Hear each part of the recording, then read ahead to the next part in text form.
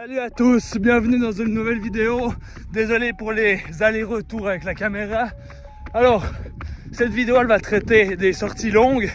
Alors là, il faut savoir que l'Ironman Texas, il est dans 5 semaines exactement. Donc dans très peu de temps. On arrive bientôt en phase de récupération. J'ai pu commencer malgré la blessure les sorties longues. Alors ça fait déjà un petit moment, hein, autant à vélo qu'en course à pied ou qu'en natation. Là aujourd'hui c'est une des plus longues sorties de course à pied, à savoir 2h30 au premier jour du printemps comme je le disais avant. Donc euh, vous voyez c'est grand soleil et quasiment plus de neige sur les montagnes. Un tout petit peu sur le sommet des Vanilles, accompagné bien évidemment de ces Madame les Vaches parce que là on est en pleine campagne gruyérienne. On est dans l'Intiamont, je suis à Grand Villard, juste à côté de la caserne militaire. Donc ouais, 2h30, ça reste quand même une sortie relativement longue. Hein. Euh, c'est pas pour rien que je suis en entraînement de sortie longue. L'allure, elle est assez tranquille. Hein. Je suis à 5, entre 5 minutes 30 et 5 minutes 45 le kilomètre, donc euh, clairement easy pour moi, malgré la blessure, hein, parce que même sur des distances comme ça, bah avant je pouvais tenir quand même des allures un peu plus soutenues. Là, c'est plus tellement le cas. Mais bon, on va falloir faire avec. L'objectif du Texas, c'est la finish line, ça s'arrête là. Il y a des moucherons par là. On est vendredi, je viens de me taper une raclette avec les collègues de travail et tout. Donc c'est assez lourd, hein. je suis un Suisse jusqu'au bout. Avec la raclette, bien évidemment, il y avait du vin blanc. Alors, euh, moi j'aime bien me faire plaisir. Là justement on est dans une phase où l'échéance est tellement proche qu'il va falloir que je dise stop à tout ça, que je freine. L'alimentation, la récupération, le sommeil, tout ça, ça fait partie d'une préparation à Ironman. Puis je vais essayer de respecter ça dès à présent. Bon bah là je suis en train de courir sur le pont à côté de la Sarine. Alors faut éviter de se casser la gueule. je rigole. Attention, pas vraiment tomber. Let's go Voilà, je suis à 17 km pour 1h34 de, de course. Euh, là, je marche parce que c'est clairement en montée et clairement trail. Bon, non, en temps normal, je courrais, mais là, on une petite pause. Et puis, c'est important d'apprendre à s'alimenter sur les sorties longues comme ça. Très important de l'entraîner également là, je profite, un petit gel, un peu de sucre, un peu de glucides en plus. Bon bah voilà, là, maintenant, je me suis arrêté parce que il y a une fontaine. Je suis complètement à sec, j'ai super soif. Et moi, je déteste me trimballer avec un camelback. Alors, on va profiter de prendre un petit peu d'eau ici. Après, bon, ce qui est dangereux avec euh, les fontaines comme ça, c'est que on sait pas vraiment si c'est potable ou pas. Alors, mais moi j'ai ma petite technique, je sais pas si ça fonctionne, je sais pas si c'est réel ou pas, mais moi j'ai toujours entendu parler que si tu crachais dedans comme ça, dans le bassin, si le crachat reste comme ça, c'est qu'elle est potable. Si ça se dispatche, c'est que c'est pas potable. Je sais pas si c'est vrai. Est-ce que c'est une légende? Oui, non. M'en fous, je me contente de ça. De toute façon, si ça me refile la chichi, rien à foutre. Alors, quand j'ai dit précisément le mot chichi, il y a un mec qui est en train de passer là. La honte, oui, peut-être, mais ça aussi, j'en ai rien à battre. Allez, on profite et on est reparti. On est le lendemain. Je vais m'apprêter à entamer une euh, sortie longue sur euh, Zwift. Là, on va partir sur 4 heures de sortie longue, voire 5 heures.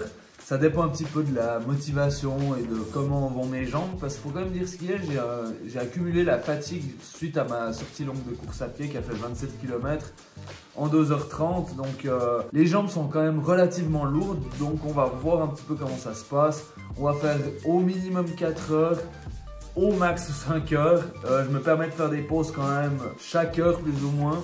Là, au moment où je vous parle, bah, en fait, j'ai déjà pédalé 2 heures non-stop, ce qui me fait exactement 60 km. Donc, euh, c'est un parcours assez plat dans lequel j'ai pu du coup euh, avoir une vitesse moyenne de 30 km h donc ce qui me paraît pas trop mal. Au niveau de la cadence ou de l'allure ou quoi que ce soit, ou même de ma fréquence cardiaque, je cherche pas du tout à atteindre des records. Hein c'est même pas forcément la distance qui est important à ce niveau-là, c'est clairement le temps d'exécution de mon parcours de cyclisme virtuel. Ça reste un bon compromis en cette saison toujours d'avoir quand même euh, le home trainer à la maison avec l'application Swift. L'Ironman Texas il est dans un tout petit peu plus d'un mois donc euh, là c'est important d'accumuler un petit peu les sorties longues.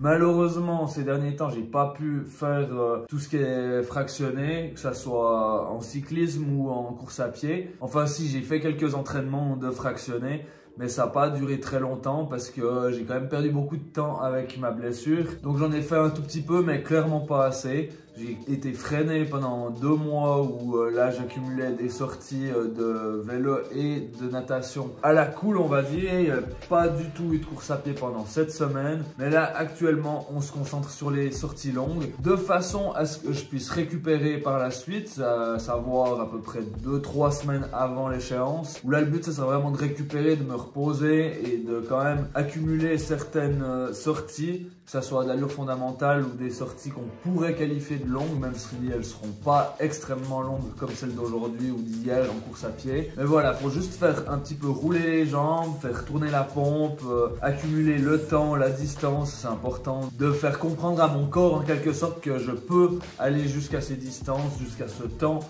pour finaliser cet Ironman Texas et atteindre la finish line. Là, je vais repartir sur le home trainer avec un minimum d'énergie, donc c'est au top. Alors, let's go, c'est parti, on y va.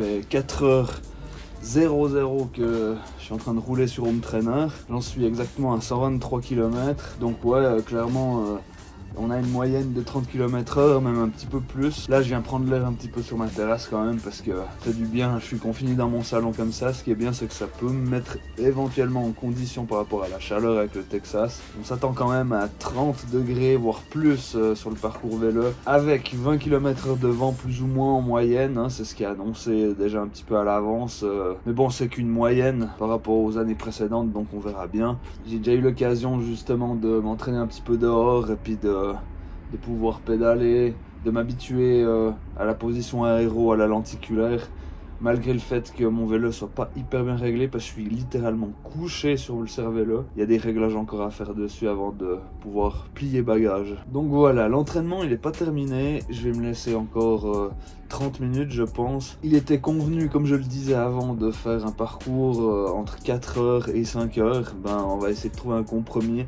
puis d'ajouter juste 30 minutes parce que là je commence avoir vraiment beaucoup de peine. Je suis clairement de plus en plus confiant pour euh, cet objectif Ironman, c'est cool. La natation, je me fais aucun problème, il hein, n'y a pas de souci, même si j'arrive pas trop à aller mieux que 2 minutes au 100 mètres. On verra bien demain, demain je vais à la piscine. Le but là à la piscine, c'est d'atteindre les 3800 mètres, alors pas tout d'une traite, mais de le faire quand même sur la distance Ironman. Je constate tout de même que au fil des sorties longues, ben, je suis quand même capable de tenir ces sorties, même si c'est à chaque fois compliqué, hein, c'est à chaque fois une pure, il faut dire ce qui est. Mais il faut tout de même penser au repos et à la récupération. Hein. Là, je sens clairement que je suis fatigué de mes semaines euh, à sortie longue. Alors là, la semaine prochaine, on va privilégier un petit peu le repos. Et puis peut-être que je vais encore me caser une semaine juste après celle qui suit. Une semaine quand même intensive en termes de sortie longue. Où là, je pourrais atteindre de bonnes distances, ça peut être cool. Et après, le but, ce sera complètement de récupérer jusqu'au jour J. De se reposer, de continuer à faire un petit peu rouler les jambes sans pression. Et puis là, on sera prêt pour euh, partir aux États-Unis pour cette course. Bon allez, on va attaquer la dernière petite demi-heure. Petite, je dis petite, mais elle sera longue, je le sens. Sur ce coup-là, à présent, on va pouvoir parler natation. Alors là, je viens de rentrer à l'instant d'une séance de natation qui s'est assez bien passée. C'était une sortie longue, là, comme le sujet de la vidéo, finalement. Mon but, c'était d'atteindre la distance Ironman, ça veut dire 3800 mètres, en faisant plusieurs pauses. Quand je dis plusieurs pauses, euh, j'aurais fait peut-être deux pauses, quelque chose comme ça, mais j'étais tellement à fond, tellement motivé que je me suis tapé 4000 mètres à la suite non-stop, tout le long en crawl, donc franchement c'est super cool.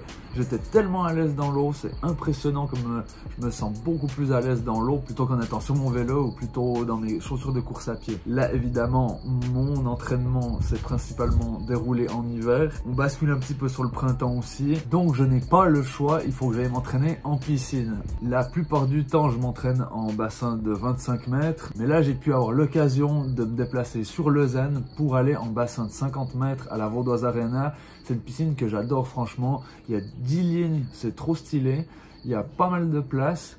Euh, il y a un plongeoir à disposition, il y a d'autres bassins de 25 mètres aussi, c'est trop la classe. En plus, l'entrée est pas très chère et puis il y a, euh, les gens sont sympas, il y a une bonne ambiance. En plus, je préfère largement plus nager en bassin de 25 mètres, euh, de 50 mètres, pardon, parce que ben, tout simplement on fait moins de virages et puis on peut plus se concentrer sur la technique et quelque part aussi sur l'endurance. Donc moi, je préfère clairement ça. Bien sûr, si je dois faire un choix entre les trois, ça veut dire sur bassin de 25 mètres, sur 50 ou en eau libre, alors clairement, je choisir c'est là où j'ai le plus de plaisir, mais malheureusement, j'ai choisi de faire un Ironman au courant du printemps, au début du printemps, donc j'ai pas le choix de me dire il faut que j'aille en bassin. Comme je l'ai dit très souvent, j'ai beaucoup de peine à peaufiner ma technique et j'ai beaucoup de peine à faire mieux que 2 minutes au 100 mètres, donc là j'étais à 1 minute 57 au 100 mètres si je me trompe pas. Pour 4000 mètres, hein, là c'était aussi le but de quand même euh, privilégier la non-fatigue on va dire, je voulais pas me fatiguer et puis je voulais crawler tout le long, il y avait pas de brasse de dos ou quoi que ce soit. Sur le moment de la course, évidemment que je vais pas pouvoir m'arrêter, euh, boire, euh, je sais pas, dans une gourde ou m'alimenter. Ça, ce sera pas le but. Donc, euh, c'est aussi ce que je me suis dit sur le moment, c'est le but de faire tout d'une traite. Là, ça s'est transformé en 4000 mètres parce que la motivation était clairement là et aussi parce que je sais que c'était une de mes dernières sorties avant le jour J, qui est très bientôt, hein, on va dire. Donc voilà, là, je me réjouis. C'est dans peu de temps. On aura surtout concentré les sorties longues ces derniers temps en alignant du coup ma plus longue sortie de natation sur 4000 mètres, une sortie de vélo sur home trainer que j'ai pu faire à 140 km et ma plus longue sortie de course à pied aura été de 27 km. Bien sûr, concernant la partie bike, je me suis beaucoup entraîné à l'extérieur aussi, malgré le froid, malgré le vent, malgré les intempéries. C'est très important pour moi de m'habituer à mon matériel, que ce soit mon vélo, le cervelo, à la lenticulaire, à la position sur les prolongateurs. Ça me permet aussi de faire mes réglages, c'est important. Et de m'habituer au vent finalement, parce que là-bas au Texas, ils annoncent une pétée de vent. Donc je suis assez content, j'ai pas mal jaugé ça. Hein. J'ai fait du 50-50, on va dire, du Zwift et puis aussi des sorties à l'extérieur. Là-bas, je sais pas s'il va faire beau, s'il va pleuvoir, s'il va y avoir du vent, pas de vent. J'en ai aucune idée. Donc autant se lancer dans toutes les possibilités lorsqu'on est en entraînement. Il n'y a pas grand chose à dire de plus si ce n'est que ben, là pour les semaines qui me restent on va privilégier la récupération et le repos donc on va bien s'alimenter, bien s'hydrater, dormir comme un malade, tout de même s'entraîner mais pas trop, on va éviter d'aller dans l'excès, ça sert à rien. J'ai vraiment pas envie de me fatiguer ou de me crever avant cette course qui est le 27 avril. Faut pas oublier qu'il y aura le voyage, il y aura le décalage horaire aussi donc ça c'est des choses qu'il faut gérer aussi et c'est pas tout à fait évident. Par rapport aux récents soucis de rhumatisme que j'ai pu avoir au plein milieu de ma préparation qui aura duré 8 mois, j'ai quand même eu l'occasion de consulter des physiothérapeutes du sport qui m'ont pas mal aidé au niveau de mes genoux et tout le reste de mes jambes en fait. Mais bien sûr, je suis aussi allé chez Michel Morin Massage, hein, euh, mon masseur sportif, qui me remet les membres en place autant pour la récupération lorsque je fais des gros efforts, mais aussi quand je suis en pleine période de sortie longue ou d'efforts très compliqués, très complexes que comme on peut le retrouver ici sur des sorties longues, mais aussi pendant les fractionnés et tout ça. Ça reste pour moi aussi quelque part un petit instant de détente et tout, où je peux relâcher un petit peu la pression, parce qu'il y a quand même beaucoup de pression dans ces prépas Ironman, autant d'un point de vue physique que mental, parce qu'on fait quand même tourner le mental à rude épreuve lorsqu'on fait des grosses sorties. En plus, j'ai tout de même un passé sportif dans le foot américain qui m'a pas vraiment aidé au niveau de mes épaules, donc sur le vélo c'est toujours un petit peu compliqué lorsque je suis en position sur les prolongateurs, en position aéro. J'ai très très vite des douleurs à la nuque, aux épaules, dans le bas du dos. Et c'est vrai que Michel m'aide énormément pour ce genre de trucs je me vois plus faire des Ironman ou même des petites courses, des triathlons sans son aide. C'est hyper bénéfique et je me sens toujours reposé à la fin finalement et prêt à surmonter l'épreuve en question. Je vais pas manquer d'aller chez lui juste avant le voyage. Bref, on va pas aller plus loin. Vous pouvez suivre tout le tralala qui s'affiche en face, c'est comme d'habitude. Je vous dis à la prochaine. Prenez très très soin de vous. Restez sport. C'était Iron Swiss. Ciao.